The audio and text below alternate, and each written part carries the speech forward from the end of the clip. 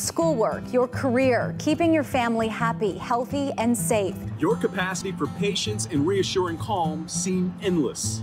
There's nothing more important in the world than being a mom. Moms right now are doing it all. And we just want to say Happy Mother's Day. Happy Mother's Day. Happy Mother's Day. Yes, moms, for all you do and all you are. We hope you have a wonderful Mother's Day this year. You deserve it.